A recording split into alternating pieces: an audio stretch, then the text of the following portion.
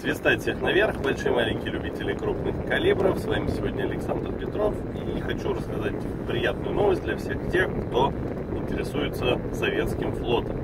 Дело в том, что с 19 июля по 31 у вас будет возможность выполнить ряд боевых задач и в награду за это получить совершенно бесплатно, не вложив, можно сказать, ни рубля, э, советский линкор пятого уровня под названием Октябрьская революция. Ну, на этом официальную часть я считаю законченной. А теперь давайте поговорим о том, что же будет происходить на самом деле при выполнении этих задач. Значит, э, давайте начнем с линкора. Есть у нас в игре линкор э, четвертого уровня, называется Николай Первый. Это, в принципе, одноклассник Октябрьской революции, которая раньше уже называлась Гангут. Вот. Э, но вот эта вот Октябрьская революция, она все-таки послужила свое, защищала там Санкт-Петербург от э, немцев и так далее и тому подобное. То есть корабль был, в общем, боевой, в отличие от Николая. Николай просто строили, строили, строили, достроили, списали, в общем, на слово. Октябрьская революция воевала. Э, и в связи с этим на нее были поставлены некоторые модернизации, как и ПВО в основном, так и всего остального. Вот. Конечно, все эти корабли строились еще в царские времена и э, после революции, а уж э, тем более э, с прихода уже Второй мировой войны безнадежно устарели. И даже несмотря на попытки как-то модернизировать, военачальники прекрасно понимали, что э, воевать с реальным противником, с кораблями на этих аппаратах невозможно. То есть, ну, настолько разные разные эпохи кораблестроения, что для этого корабль не годился. Но корабль годился для чего? Для того, чтобы стрелять из своих мощных орудий по наступающим немцам и, соответственно, более-менее как-то там сбивать самолеты. Вот. Соответственно, примерно вот э, того же времени приходит нам Октябрьская революция в нашу игру. То есть, когда она уже была во Второй мировой войне с соответствующими установками ПВО и так далее и тому подобное. Но, к сожалению, в любом случае корабль все еще остается старым императорским линкором со всеми его минусами. Минусы какие? В первую очередь он замечательно горит. Чего? Горит замечательно. Это лично мой минус, э, который меня очень бесил. Второй минус, который меня очень бесил, э, это авианосцы, которые просто делали с Николаем все, что угодно во всех плоскостях. Они на него и бомбили, и торпедировали и так далее. Потом, к счастью, авианосцы понерфили, но Николай все равно потихонечку продолжал от них страдать, потому что ПВО на нем было примерно ноль. Далее, э, что еще было существенной проблемой? Существенные проблемы, конечно, были орудия, которые, с одной стороны, вроде как бы мощные и хорошие, но с другой стороны, э, обладал очень долгой, обладал очень долгим КД Николай, а Октябрьская революция будет иметь калибр 305 мм на пятом уровне, в то время, когда практически у всех линкоров 356. Ну, 305, по-моему, у немцев Кайзер, если не ошибаюсь. Ну вот, в любом случае, очень слабый калибр, но для того, чтобы пострелять там по крейсерам более-менее еще и никуда, куда годится, а вот для того, чтобы по линкорам уже прям совсем не очень.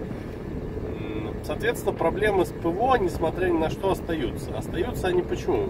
Потому что корабль, в отличие от Николая, который бросает на четвертый и пятый уровень, там, и третий, будет бросать с пятых по седьмые.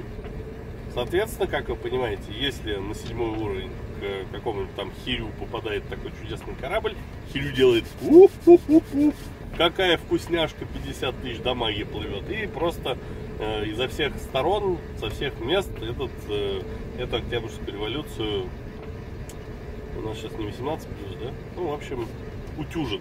Вот, хорошее слово, даже не мать. Вот, поэтому большие проблемы, конечно, она будет испытывать. Раз. Вторая большая проблема то, что у нее орудие, как я уже говорил, малокалиберное и с очень малой дальностью стрельбы. Несмотря на то, что с Николаем их подкрутят по сравнению, они будут стрелять чуть дальше, но на седьмом уровне есть линкоры, которые стреляют уже практически на 20 километров, а у нас будет там чуть больше, если не ошибаюсь, там в районе 15 плюс-минус. Ну, не суть важно. Короче, мало.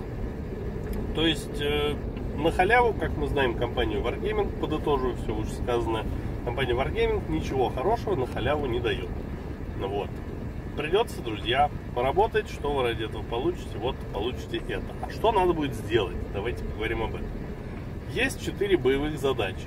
Задача номер один – победить в 50 боях и нанести 300 тысяч урона линкором противника. Вроде как бы 300 э, тысяч урона линкором можно набросать там за 3-4 боя. Ничего сложного. Но вот победить в 50 боях, что для этого нужно? Для этого нужно как минимум сыграть, ну, хотя бы 100 боев, да, при средней статистике 50%. А на каждый бой у нас уходит порядка, ну, 20 минут, если учесть, что мы там еще более-менее загружаемся в бой, идем там попить чай и так далее. Да, в день мы можем сыграть, не знаю, 3 часа в день, это 9 боев, 10. То есть, соответственно, нам надо будет хорошенько так задротить э, в течение 10 дней. А, кстати, будет проходить акция с 19 по 31 число. Настя, готовься. Будем задротить как следует. В общем, порядка трех часов каждый день надо будет посвящать кораблям. Друзья, если хотите себе революцию, помните об этом. Следующая боевая задача. Э, сделать 30 тысяч свобод... Э, обычного опыта белого. Но это, в общем, небольшая проблема. При победе там в среднем по 500, там, тире по 1000, по полутора можно брать опыта. Вот. Это можно сделать, там, скажем, за 50 боев. Это вообще вот так вот запросто можно сделать. Плюс настрелять 300 тысяч урона по эсминцам.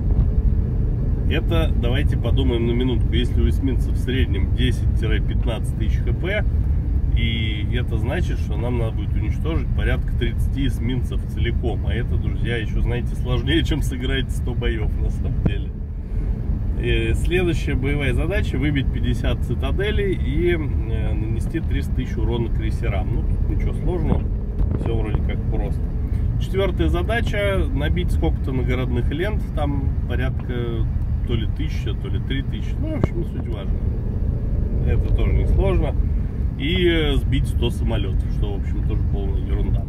Короче говоря, самая самая-самая западлюка, которая нас ждет, это, во-первых, 50 побед, а во-вторых, 300 тысяч урона по эсминцам. Это, наверное, даже будет сложнее, чем 50 побед. Поэтому, друзья, если вы хотите получить себе такой сомнительный приз, на мой взгляд, сомнительный, то вам придется хорошенько попотеть, будьте готовы. Давайте порассудим, на чем лучше все это дело проходить. Ну, по линкорам, понятное дело, проще всего, наверное, с линкоров работать. Ну и выбить 300 тысяч урона с линкоров, это не проблема. На эту задачу можно вообще внимания не обращать, если бы не 50 победных боев. Вот следующая задача, она, конечно, посложнее, именно вот по эсминцам. Вам надо будет тогда, наверное, играть, скорее всего, на крейсерах или на каких-то эсминцах, которые умеют хорошо пострелять.